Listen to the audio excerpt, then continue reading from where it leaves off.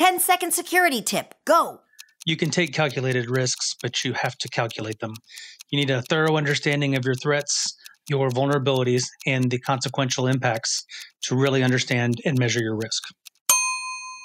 It's time to begin the CISO Security Vendor Relationship Podcast.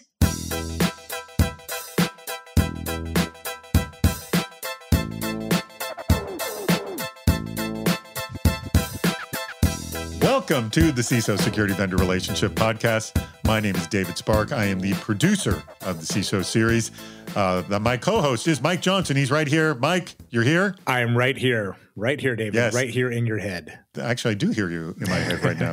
and actually, we probably are uh, people listening to us, we're in their head as well. Absolutely. We are the voices in your head at this very moment.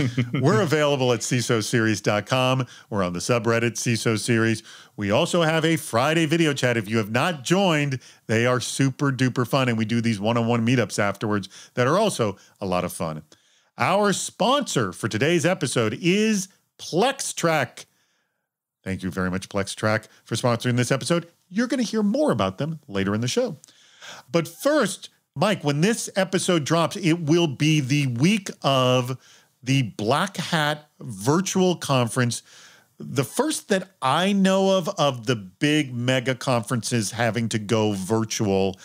I honestly have no idea what to expect from this. Uh, I haven't looked. You're actually going on vacation this week. I, am I'm, I'm on vacation. I figured if I'm not going to Vegas, if I'm not going to be in the hot of Vegas weather, I might as well do something else. So I, am going to be okay. on vacation, maybe checking in every now and then. What, what I'm also curious about is uh, DEF CON is also all, all virtual. Mm-hmm. And I heard that it's free. I haven't validated that. Oh, really? Um, so that, you know, by the time that you're listening to this, DEF CON should be coming up. So take a look at it and maybe register. I'm really curious to see how these go. I, I know Apple did their big Apple developer conference, mixed results, mixed feelings from what I heard. I'm curious to see how it works for Black Hat and DEF CON. Well, they they have I know on Black Hat they have this platform. I forget what the name of it is, but it's designed for some type of meetup of people virtually, and then you can also like schedule people's time. Like people have, you know, they automatically give you a series of time blocks. I'm gonna. I know I personally have a ton of work next week, and I'm trying to like figure out how I'm gonna offload my work or push it to the side. So I, because I do want to dedicate some time yeah. to Black Hat and some time to meeting people. I'll figure it out. I'll put some time aside because I'm I'm fascinated to see what they're going to end up doing with this. It's really interesting times, uh, and and for me, as soon as you were saying, "Hey, it's Black Hat time," immediately I went back to a year ago and how different Black Hat was a year ago. So I'm, I'm and how much I know it's also how much fun we were there. Yeah, we had, a had, had a great time. had a great time. Well, I don't think I'll have nearly as much fun this year as sitting in front of my computer watching it, but I'll try to do my best. All right, let's bring in our guest for today. I'm very excited to have him. It is Matt Conner, who is the CISO for the National Geospatial Intelligence Agency. Matt, thank you so much for joining us today. Thanks for having me. Really excited. How CISOs are digesting the latest security news. If you thought tech firms were abysmal with the diversity hiring, it appears venture capital firms are even worse.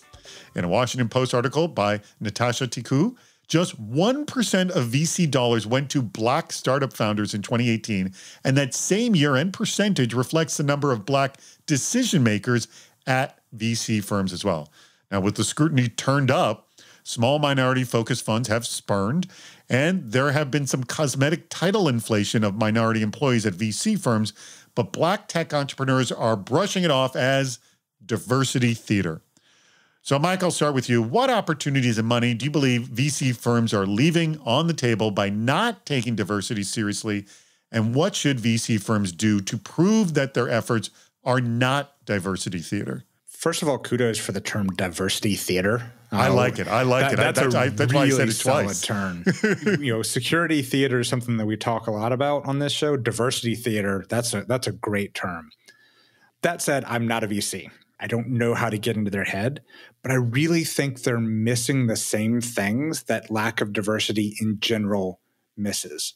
Where you've got all of these people, same backgrounds, they think the same way, and you end up with groupthink. You end up with they're always thinking alike. No new ideas come in, or hey, we've always done it this way becomes the default. And they miss these shifts, they miss these opportunities. You know, think about the rise of some of these online platforms like TikTok. Nobody saw that coming because it was everyone thinking the same way. It was Facebook and Twitter, and that's what we've always had. And that's what I think these VC firms are missing is these opportunities that somebody else comes up with, somebody else finds interesting, and they completely miss it because they're thinking all the same. They're all thinking alike. They could very easily miss the next great idea as a result. And I think in terms of fixing it, it's walk the walk. They're talking the talk, great. Walk the walk. Let's open your books. Show us where you're investing your money. Show us that your funds are actually going to these minority led companies that you're having an impact and not just diversity theater. Good points. All right. Matt, I'm going to take this to you. I know diversity is a major charge for you. What what do you think VC firms are leaving on the table by not taking diversity seriously? I think Mike covered so many important points, and a couple words specifically resonated with me in my business in the intelligence community. You know, uh, the word dangerous specifically rings out for me when I think about the key intelligence questions that we're trying to answer. And when you think about, um, you know, people around the table trying to apply their knowledge and their background to solve these problems or answer these key questions, groupthink is a dangerous echo chamber. And so I think about when when VC firms when they're under investing in diversity or when and I do also love the, the idea of diversity theater. I mean it's also virtual signaling, right? You think about virtue signaling these days and it's sort of endemic with companies out there right now trying to show that they're woke as it were. Uh, I think that you know the real the answer to that is to listen, right? In, in the article you referenced, there are references uh, and even in the, the summary there are references to people feeling like it's just so much window dressing. And I think it begins by by actively listening to people of color, of diverse backgrounds, and, and saying, what does real diversity look like? What does that look like in terms of investment, in terms of personnel investment, optimization? I think diversity is such a key mission enabling virtue for any organization, whether it's making money or you know, protecting the, the states. Well, one of the things I was thinking is, I mean, you just look at just traditional marketing in general, and that different groups sometimes follow different trends and also want to sort of own something themselves, if you will. And if you essentially are ignoring an entire market, you're just simply leaving money on the table. Someone else is going to score it. And like you said with TikTok, you know, the big I do some work with VidCon, which is this big conference that that is mostly it speaks about online video mm-hmm. and the overwhelming audience here is teenagers. And the big joke I make to my friends when I tell them about VidCon. I go, if you want to ever feel completely out of touch, go to VidCon because you will see this entire community that is following these video people, these professionals who online who have these enormous followings you've never heard of, but these teenagers going nuts for. And again, if you live as, you know, an adult white male in a VC firm, you're never going to know this or never see this. And that is opportunity missed. I think it's also true that people want to see themselves in the things they participate in, the things that they give their money to. They want to see themselves. Um, they want something to own, and I think that's that's true in organizations or in markets.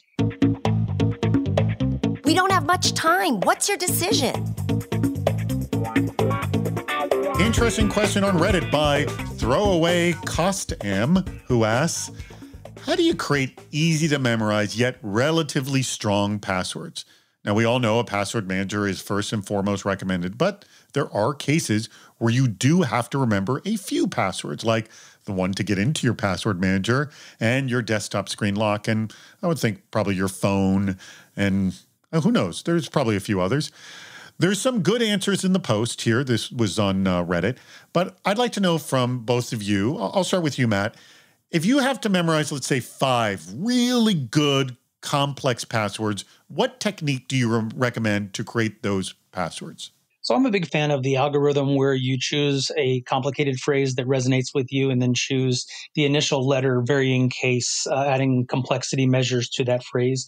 Uh, it's easy for me to recall that phrase when I'm trying to regurgitate a, a complex password. And, and, you know, in the, in the DoD and the IC space, we of course have many needs for for complex passwords. And so I, I haven't found a better algorithm for me than than thinking of that key phrase and taking initialize initializing it from it do you have a certain number of complex passwords that you you just have to know that you can't have like in a password manager? Like to initiate these things i need to know this many well, certainly we have. I mean, we we rely heavily on multi-factor authentication as you'd expect, and so largely I'm remembering passcodes. But for certain systems that either are not PK enabled or MFA enabled, I have to remember complex passwords. Uh, we're trying to move away from them per NIST recommendations and per the way humans remember passwords. I think we probably all remember XKCD and correct horse battery staple, right? So we're we're trying to move to those kinds of um, smarter approaches to password management in general. All right, Mike, I throw this question to you. I got to memorize five complex passwords. Do you have any uh, greater advice beyond what Matt suggested? so, first of all, David, I want to give you props for reading a username out loud. Because I did, I do it completely wrong. You got it completely right, but you look at something like that and you think, "Gosh, how would I even read that out loud?" So, you know, pr- props for translating something that probably makes sense written down, but not so much when you when you say it. So, first, I, I want to give you credit for that. Oh, um, okay. Um, but beyond that, I, I think it's interesting the world that we're moving into with biometric identification. If you think about, you know, my laptop that I'm using right now, I authenticated with Windows Hello. I didn't actually type in a password. My work laptop, I use Touch ID. All of my Apple devices are all Touch ID or Face ID. And we're moving more and more towards that world where to get into your password manager, you can use something that you actually don't have to remember, that it's more of a property of what you are rather than what you know. And I think I, you're avoiding the question, Mike. That's what I think you're doing. you still have to memorize some passwords, and in your cases, you have. But but the question was, how do you do it? But go. These are all valid answers, but it, it's not answering. Well, our, so our, Matt uh, Matt kind of took my correct battery horse staple example, which is you know literally pick four random words like just random words or or a phrase that makes sense to you that you know an inside joke for them. I prefer the the random word example because if it's an inside joke that you actually frequently say, then that's something that someone might actually try when trying to guess your password. That's why I go like the random word route. And the first time I actually write it down, um, and I keep it on a piece of paper that I keep with me at all times. Only I can see it, always in my sight and eventually, I don't need it anymore. Once I've typed it enough, I don't need that anymore. Uh, Bruce Schneier had a example years ago of you already carry around something that you protect, that you keep very secret, and that's your wallet. So writing down a password and storing it in your wallet actually works out pretty well for most people. So I, I think there's a lot to be said for recognizing what the attacks are and the things that we're trying to deal with. And you're trying to deal with someone out there who has this amazing corpus of passwords that have been stolen from umpteen gazillion compromised websites. So as long as you've got something unique to you that you're carrying around, you're protected from basically all the threats out there. So that's how I do it. Random words, write them down for a period of time, and eventually I can feed that, you know, I can chew up that piece of paper and, and swallow it and no one will ever know. All right. So, advice to everyone steal Mike's wallet. Who's our sponsor this week? It's PlexTrac. And here's Steve Prentice with more. PlexTrac is a reporting and tracking platform for risk management and for collaboration between security teams that provides the CISO with a holistic view of their risk posture, while allowing the reports and vulnerability data to get to the teams in charge of fixing the problems. Dan DeCloss is CEO and founder of PlexTrac. He says the key is to get all the vital metrics and data in one place. At the practitioner level, we really support workflows for multiple different teams, right? So, what might be in use today may facilitate one group, maybe like the GRC group, better than, say, the red team or the security operations team or even the vulnerability assessment team. You know, we bring those teams together and truly provide a single platform for the collaboration, not only within their teams, but also external consulting firms that are doing their assessments or the teams that are responsible for fixing the, the risks that have been identified. Not only does this help identify the problem, it also helps get the ball rolling towards swift resolution. We integrate with things like Jira and ServiceNow to create tickets out of the risks that get identified within PlexTrac. But you can also use PlexTrac itself as that ticketing system to see who's assigned to issues. And then you can really slice and dice that data. So it brings all that information into one uh, central repository. And now the system really only has to go to one place to get real time metrics that they could report up to the board or to the executive staff. For more information, visit plextrac.com. That's P L E X T R A C.com.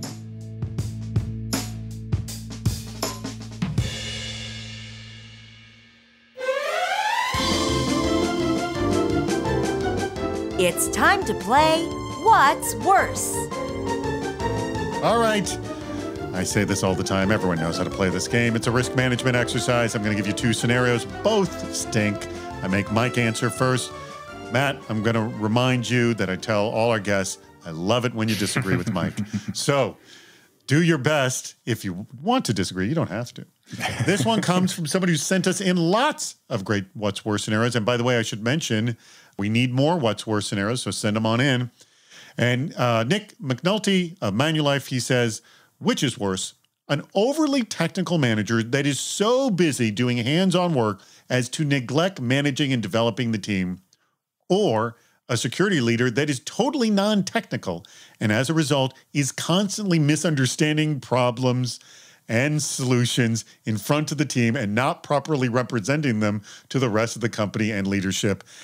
And I, as I look over to Mike, he puts his hands, his head in his hands, and he's like, "Oh God." So, which one is worse? This one is a hard one. I, I like the ones that really apply to just like general human being interaction and not like this technical decision making. The technical decision making, those are always the easy ones. The ones where it's talking about people and how they interact, these are the difficult ones. And, and this is a great example. This is a lot of the job of the CISO, isn't it? Yes. Um, so th- this is a great example where you've got someone who is in the weeds on everything and they don't come up for air. They don't come up to look around. Um, they're involved in everything. And it's difficult for them to maybe interact with the rest of the organization or to give their people what they need to help them grow. On the other side, you've got you got to explain it to the person 10 times before they get it. Or maybe they're making dangerous decisions based on their perceptions and their beliefs that can have significant consequences. It's like having my mom as a CISO. you know, David, I imagine your mom would make a great CISO, and, and that, No, no, n- now don't. that's, who, that's who I have in mind as as, as a as a oh, great Oh, God. CISO is David's That- mom. That is that is a comedy of errors right there. So go on. um, so you know it, both of these um, are bad and, and really these both of these are really bad um, th- this is choosing between real two really bad options uh, and as Well, usual you this is pick me which one's dancing worse. around this is me dancing around and the one that i feel is worse is the one that's more difficult to change because both of these are going to suck long term so i'm going to try and fix either of them and the one that I think is a little bit more difficult to correct is the people who are just heads down in the technical weeds all the time. That's going to be one that it's really hard to bring them back out of that. The person who is getting the wrong answers and it takes a lot of explaining, but is interacting with the organization, is managing their people well and giving their people opportunities, that's someone that you can teach over time. And in a lot of cases, they're actually get out of the way. yeah, again, you haven't talked to my mom, have you?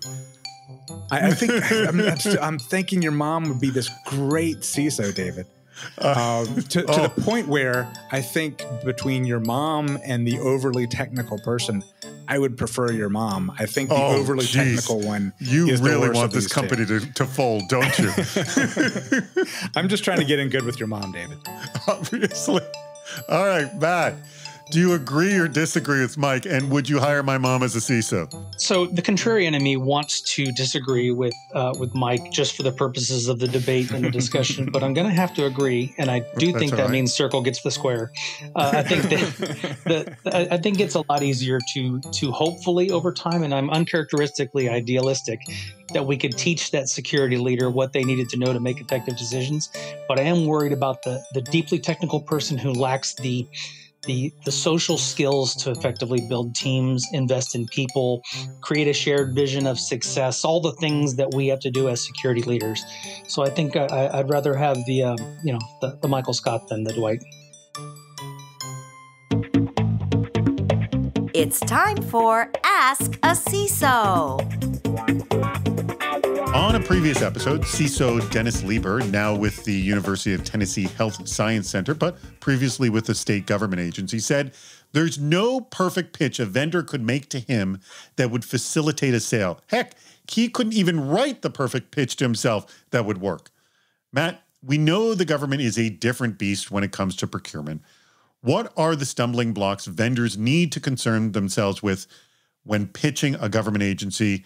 And if you were working for a vendor tomorrow, how would you approach approach your own agency?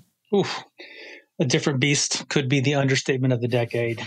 Uh, you know, when um, so I guess I would first counsel all vendors: if you're not in for the long game, don't play this game. The government is a monolithic uh, bureaucracy, and, and I have joked only semi uh, only semi jokingly that um, that I think the government takes four dollars to make sure we don't misspend a dollar. And so, from that perspective, patience is the name of the game. We are.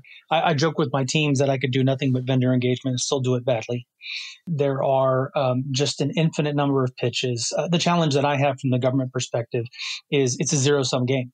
The budget lead times, the programming, budgeting, and execution cycle for the DoD and the intelligence community for the government really means I'm forecasting needs years in advance and programming for those resources. Um, any government budget person knows you can't hide margin. Margin is is swept, uh, is the technical term.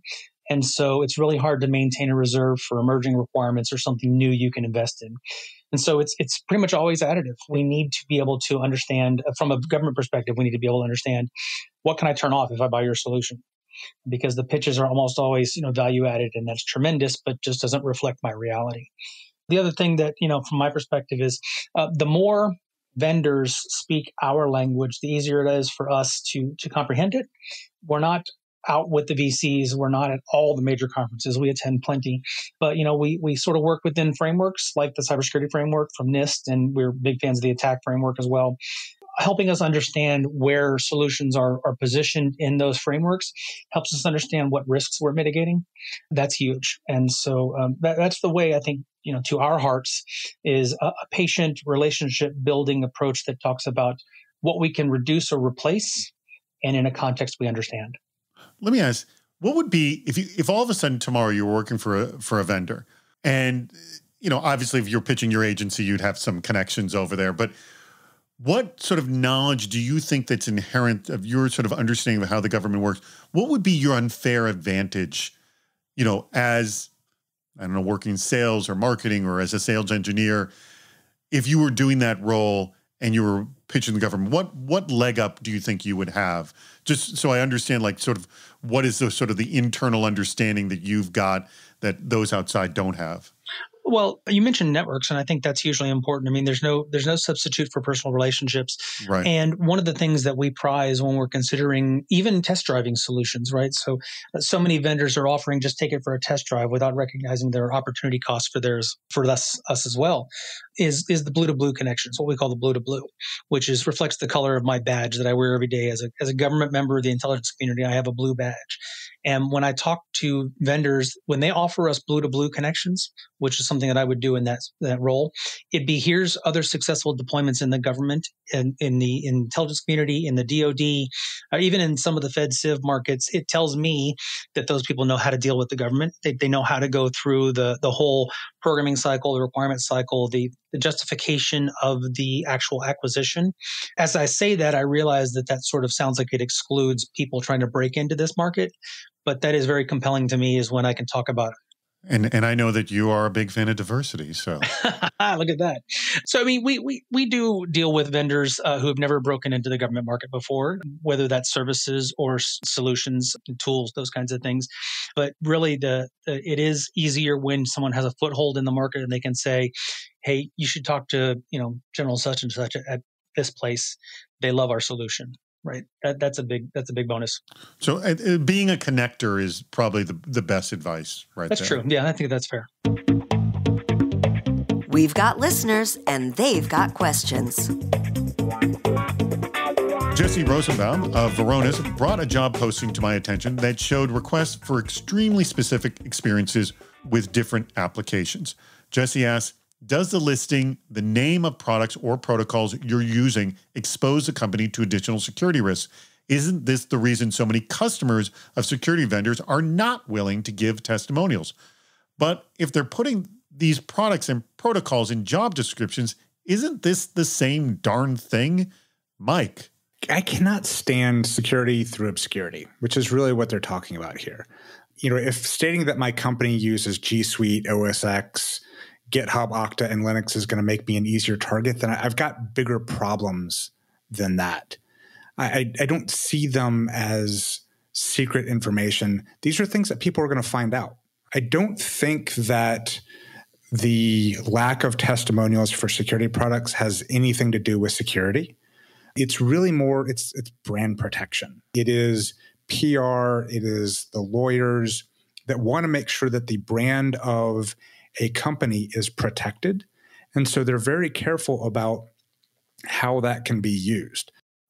But but let me argue with that because I hear continuously that specifically in security, it's that much harder to get a customer to give a testimonial. So that would lend one to believe that nobody wants anyone to know that I'm using company XYZ's product. So this is a call out to all of those companies who are saying that I'm depending on the fact that I'm using security tool X as a secret is somehow making my security better. Stop. It's not. It's not improving your security. There are many reasons why you may not want a vendor to use your logo, but it's not helping improve your security. It's a good point that there are people out there who believe that this is the case, that hiding what they're doing is a reason why they shouldn't allow their test their name to be used in a testimonial, but it's not actually improving their security. It doesn't help them. All right, Matt, I throw this to you. Do you think that the listing of what you need in specific in terms of products and protocols is in any way weakening your security stature? Do you agree with Mike here or and is this the same as, you know, companies not giving testimonials? So I, I, certainly agree with Mike here. I mean, I think about this a lot like a crypto system. You know, if the mm-hmm. security mm-hmm. in your crypto algorithm is it relies on it not being disclosed, it's a pretty crap crypto system. And for our perspective, right, you know, when we advertise positions on on our hiring websites or you know LinkedIn or those kinds of things, uh, you know, we're not we're not worried about the the OPSEC of the specific technologies we use. You know, our, our agency is somewhat unique in that you know our, we are determined to succeed in the open. We're we're pretty forward facing and internet facing for most of our IC and DoD colleagues. Regardless, uh, you know, security can't lie in keeping those kinds of things secret. If you think about it, that information wouldn't stay secret very long. People interview for jobs. We're going to ask them what they know. We're going to tell them what we need. I don't think that there's there's a whole lot of value in that kind of obscurity. All right. Well, you heard it here obscurity is not doing anything for your security. By the way, that that is a nice little rhyme there. All right, that brings us to a close on today's show. I want to thank our guests, Matt Conner, who is with the CISO with the National Geospatial Intelligence Agency. Matt, thank you so much for joining us today. What I specifically want to thank you for is their second to last segment about you sort of opening up about the the difficulty of working with government agencies. You are well aware of that. You know that while you are pro diversity, that it doesn't sort of lend itself to diversity. So you're aware of that as well. And uh, my favorite line is if you're not in it for the long game, do not play. Yeah, this is patience, patience, patience, sadly, which I know is a lot of security sales, but even more so in government. Uh, I would let you have the very last word here. But first, let me thank our sponsor, PlexTrac. PlexTrac, thank you so much for sponsoring this episode. Uh, more from them coming up. So stay tuned. Mike, I let you go first, and then Matt, last words. Matt, thank you so much for joining us. It was great to have you on the show and get your perspective. We haven't had a whole lot of government sector CISOs, so you brought a different perspective to the show, and I appreciated it. I'm sure our audience will appreciate it as well. What I really wanted to thank you specifically for was your discussions about diversity. And I liked what you had to say. You specifically talked about diversity as mission enabling.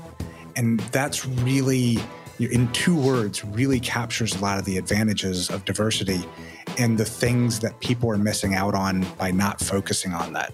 So, know, generally, thank you for coming on the show, sharing your experience, but specifically, thank you for that thoughtful discussion around diversity. Matt, uh, any last words? And uh, I always ask all my guests, are you hiring? Are you hiring? We are hiring. Uh, you can find lots of opportunities on usajobs.gov or more specifically intelligencecareers.gov, which is a website we uh, we jointly operate with another intelligence agency.